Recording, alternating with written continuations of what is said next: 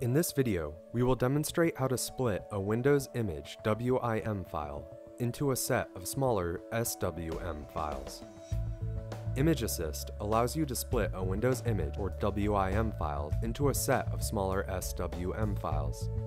Splitting the WIM files can be useful for network transfer speeds or for saving files to an FAT32 formatted partition which limits files to a maximum size of 4 gigabytes.